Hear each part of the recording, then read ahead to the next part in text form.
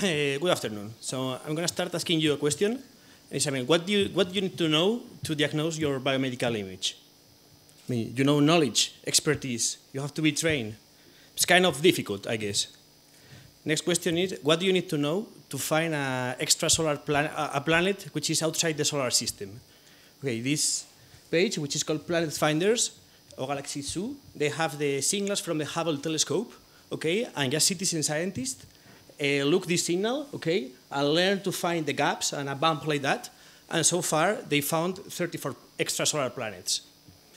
It's not bad. Okay, something also which is kind of complicated, and most of you will know, is uh, protein folding. Okay, you have to do protein folding, and there are like automatic methodologies to do protein folding. There is a game which is called Foldit that makes again citizen scientists uh, play and fold and maximize minimize energies, and it happened that uh, just volunteers are better than any automatic method in the world. This nature paper is signed by 57,000 people. Okay, it's great, and this is a complex task. So maybe diagnosing your biomedical image is not so complicated. Now let's think about a huge problem, it's malaria. Okay, you have 600,000 cases per day, 1 million deaths per year, gold standard for diagnosis everywhere in the world is taking an optical microscope just and you see okay you have parasites you count them you estimate the parasitemia and you give the medicaments.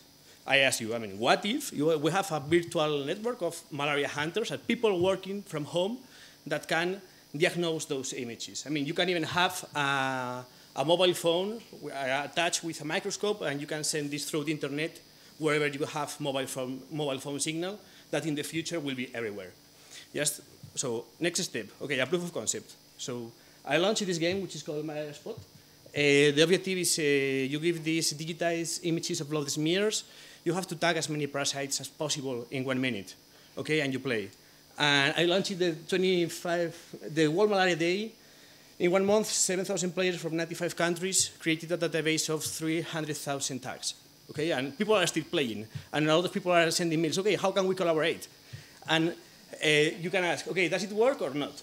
Next question. So this is an example of, a, this is an image, the gold standard is the white squares, and actually, yeah, people learn, you learn to do that. Here, the next step, okay, will be asked, how many people you need to combine, how many online volunteers to, to be as good as an expert microscopist, okay? You need some redundancy. So it happens that with about 15 people trained for less than one minute, you are able to be as good as an expert microscopist. Now I say, with one million of unemployed people, you can diagnose all the malaria in the world, point. Just if you're interested in crowdsourcing, open science, biomedical, crowdsourcing your biomedical thing, or whatever, just find me. Thank you.